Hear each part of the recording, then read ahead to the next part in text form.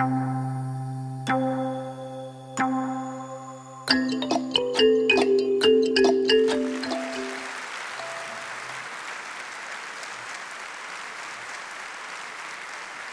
Mariam, you started your TED talk actually with a personal story um, when you were working as a lawyer and you met a client for the first time.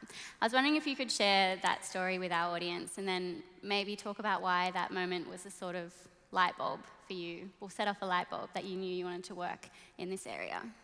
In terms of that story, um, I have many stories, trust me. So I was reflecting on the fact that early on in my career as a corporate lawyer, I had this one particular interstate client. And of course, being the chatterbox that I am, I, you know, had spent months building rapport with her over the phone and over email, and I was the lead advisor on her matter. And, and so she'd spoken to me, you know, hours on end on the phone. But then we finally got to meet face to face, and so I walked into the meeting room and I said hello, and um, she kind of gave me this look and she said, "Oh, you must work for Mariam." And um, obviously, I wasn't smuggling a watermelon back then, so. Um, but I, I, guess the point was that she, the voice that she had heard on the phone didn't correspond to this person that was standing in front of her. And um, yeah, it was just, I felt, you know, it kind of killed my confidence a little bit because she assumed I was someone else, um, and, and particularly that the voice that she'd heard didn't seem to correspond as someone who looked like me. And so I found myself losing a little bit of confidence again, having to work really hard to build that rapport, mm. um, and then having to kind of explain who I am and, and then doubting myself. And I think the thing um, to reflect on is that minority groups spend something like up to 30% of their time worrying about how to fit in. So that's a lot of wasted productivity, a lot of wasted energy about what to say, second guessing yourself, questioning how you're speaking, you know, what's coming out of your mouth, because you want to make a particular impression. And so I guess the point for me in that moment was people do make assumptions and, and stereotype others, and it's not only unhealthy from their perspective, but also from the person who's on the receiving end. Mm. So you, were trained and you were working as a corporate lawyer, and then now you work as a diversity and inclusion um, in, in corporations and, and big companies. Um, and I guess your experience is about, well, having such a, an understanding of how much of a waste of time or having to worry about all of that sort of stuff is. What are some of the other like ramifications or the, the other sort of downfalls of this lack of diversity or this sort of lack of inclusion in the workforce? How does that play out? Um, I think ensuring that you've got diversity at every level, so I'm not just talking entry level, but particularly into leadership levels, it actually um, produces diversity of thought. Mm. Um, and that, from a business perspective, is incredible. We need that. Um, we're, you know, we're facing a changing economy. We've got the gig economy. Things are operating differently to how they used to. To be innovative, you need to have the diversity of thought, and that comes about from having general diversity. And it's about then acknowledging the barriers that exist for diverse minority groups and why they're not moving through the ranks. Um, a lot of this, you know, research and just insights that we have are that at an entry level, lots of corporations are incredibly diverse. I'm talking every diversity stream. But as you start to move through the ranks of leadership, it's not reflected and it's you know that diversity is not reflected. And so you're missing out on several aspects. One it's the moral and the right thing to do to make sure that everybody has an equitable opportunity to move ahead. But two um, there's plenty of studies that prove that diversity at a board level and at a leadership level produces innovative results and is really good for your bottom line. Mm. so it's you know it makes business sense so, on that, I mean, you mentioned that there's a lot of space, I suppose, for diversity, and people are trying to work on that more, and that you're seeing that play out maybe at the entry level. But that when you look at our TVs, or you look at university professors, or you look at business CEOs, or you look at you know, pretty much at every level, Australia isn't a very, well, that, that diversity of Australia isn't represented mm-hmm. on that sort of visible top tier of our country. Mm-hmm. Something that you said that really struck me as kind of terrifying was that a lot of our decisions that we make, and especially decisions that get made in the workforce, are actually subconscious. And I was wondering if that was that a connection that you have drawn, that the fact that we subconsciously are kind of self selecting or something? Mm-hmm. Yeah, so I spoke about unconscious bias in particular, and, and that, you know, um, I was. Eric Kandel, it was Nobel Peace Prize recipient, and said that up to 90% of the brain's function is actually unconscious. And so, I guess the point I want to make is that um, having unconscious thoughts isn't necessarily always a bad thing. It, you know, for example, um, when you're driving, you know, the first few times you put a lot of conscious effort into learning and you concentrate, and then after a while, um, you can literally do it with your eyes closed, although I don't recommend it. Um, but the, the point is, it becomes unconscious, right? And so, so the brain does have a lot of shortcuts, and that's not necessarily a bad thing, but if those shortcuts that your brain has learned over time, and it starts at a really young age, if those shortcuts or those rules are wrong or have bias or prejudice in it, then it's really hard to unteach that. It's like uh, learning driving rules incorrectly and you've been doing it for years and then you have to wire your brain not to do that. And that's the thing about unconscious bias, right? Um, unconscious thoughts aren't always a bad thing, but if you're, if you're associating, you've got these unconscious associations with certain things, like for example, whether it's gender, so you have all these gender stereotypes that you've grown up with that you don't even think about. Um, you know, that can be a negative thing. If you've got all these associations around race, for example, that can be a negative thing. And that's, it comes out when you are in the recruitment process, for example, or you are making decisions.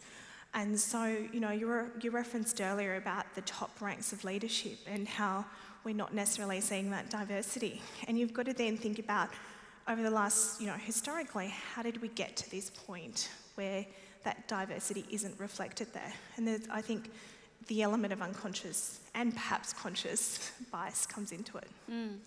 A lot of work that you're doing, I think we, or especially the young people in the audience, are going to be very happy that you know you forged ahead and tried to make these changes because um, you mentioned a study that uh, is quite old, I think, now, but maybe mm. 10 or 15 years ago, there was a study, right, that um, was the exact same CV, and they just changed the names at the top. They did it with men and women, and I think there was a Western name, an Asian sounding name, and a Middle Eastern sounding name. And Asian or Middle Eastern, you'll have to correct me with the yeah, actual yeah. numbers, but you had to, the same resume had to get uh, submitted up, you know, 50% more or something, yeah, even so to get an interview. That's right, and they did it with Indigenous names as well, and they also trialled it with Italian names as well. And what they found was um, the Asian sounding names um, had to apply 68% more times to get the same number of callbacks as an Anglo Saxon sounding name.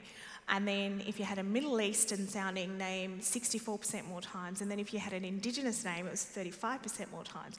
And I think even an Italian name was 12% discrimination. And so this is all, like, yeah, these no. kind of like unconscious decisions uh, where we think that person's not right for that job, or yeah, I mean, it could be an, an unconscious component, it could be a conscious bias, but the reality back when this study was done was that those individuals with those names had to try harder. And so the reality was they wouldn't know that they weren't getting callbacks. But when you do this research in that way and you submit the exact same resume, so you can't even say it's not because you don't have merit, because they were the same resumes, the same qualifications, and same education.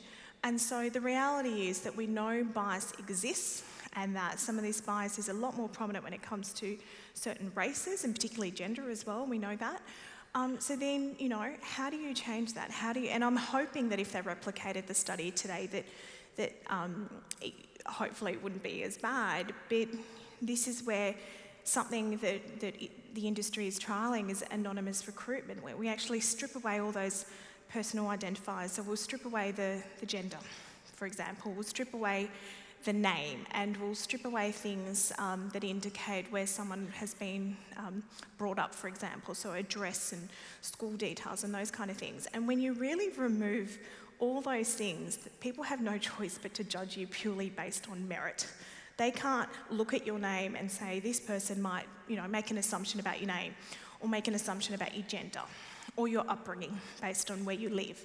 So when you strip that away, you create a true um, system in which you can actually enable a meritocracy. Mm. But I would argue that under the current system, that's not always there because as human beings, we all have biases, we all have prejudices, and a lot of what we're exposed to day to day feeds those assumptions and those biases.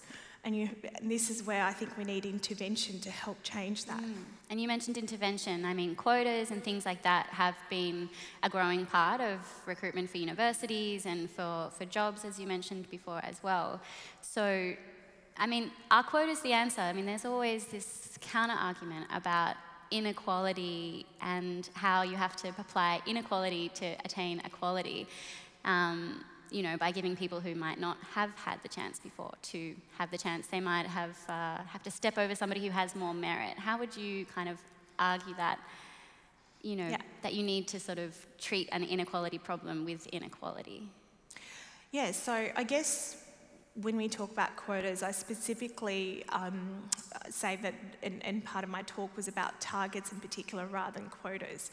Um, targets are aspirational. We, you know, in, in the sense that you'll have a, a women in leadership target, for example, um, gender diversity target, or targets for other diversity streams.